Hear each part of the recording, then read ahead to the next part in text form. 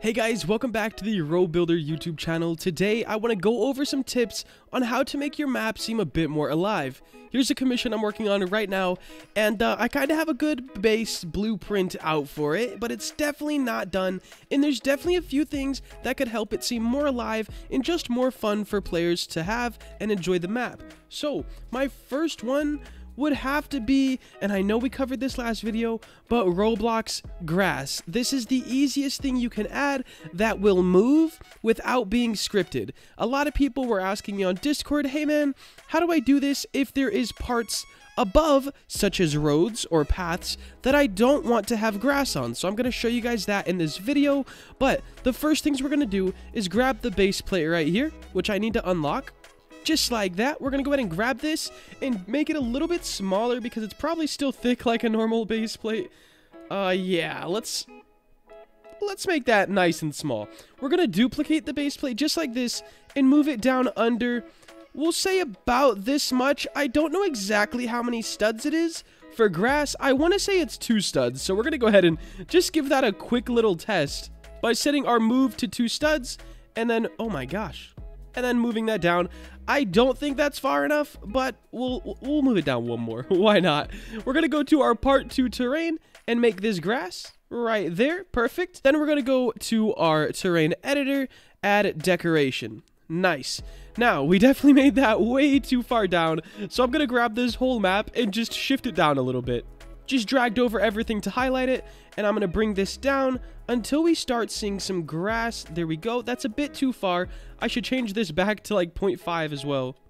Or 0.25. And I want this just like, we don't want to see this grass. We're still going for a very low poly aesthetic, so we're to go just like this. Now, as you can see, hey bro, we have grass on our sidewalks, our roads, on this, like, you don't want grass on all of that stuff. So to fix that, you're going to want to open up your terrain editor right here, click on edit, and then paint. This will be the easiest way, and we're just going to paint this a whole different thing. Probably go with, like, dirt? Or we'll just go with leafy grass. I believe yeah, that does it. So if you go with leafy grass, that'll do it. And then you just want to kind of paint over everything you have that you don't want grass on, okay? And you could take your time on this and make it super precise, but for this tutorial purpose, I'm not going to do the uh, the best job. Well, I guess this is a commission too, so I, I'll be back when I finish this. And alright guys, just like that, we have all of the grass only where it needs to be, and uh, the roads are completely clear. Oh yeah, I forgot about these. Alright, now we're all good. And no worries if you're thinking, bro, there's no grass over there. That's just a render distance. There is grass covering our whole map right now. And uh, this is not a thing to make it look more alive, but you already know. We gotta change this grass color.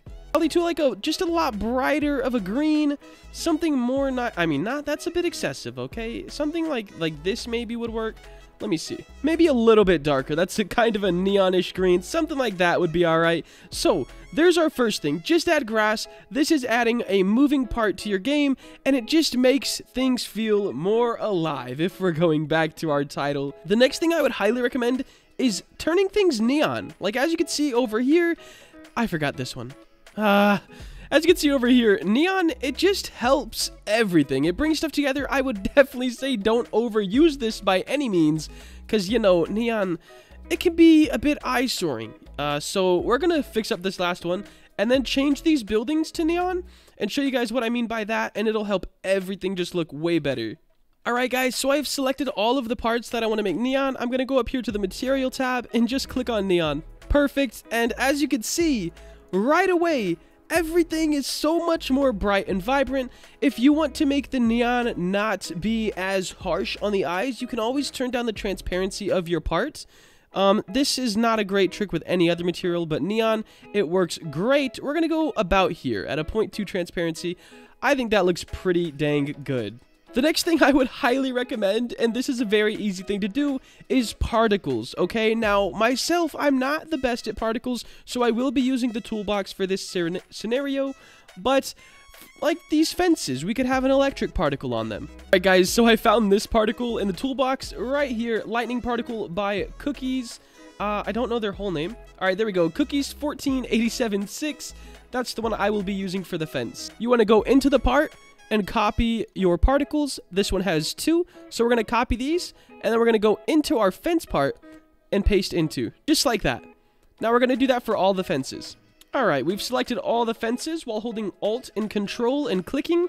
We're going to go ahead and click on one, paste into selected. This will go all of the parts that we have. Just like that, we have an electrical fence. And we'll delete the original particle block. The next thing I would recommend, and we don't really have any way to show it on this particular map, but if you can add any moving things like windmills, water wheels, stuff like that, uh, maybe the little spinny things kids play with in the wind, anything that you can add that moves. And I know on this channel, like I'm not a scripter either, but if you just look up rotate script Roblox, uh, it's a pretty simple thing you could copy and paste, change the speed. It's very simple to do, so I would highly recommend that. If you have maybe a farm map, you can add windmills a water map, you know, the water wheels, stuff like that. Just make sure you have as many moving parts as possible. It just helps the game feel more complete, I guess would be another word than alive, because you might be tired of me saying that.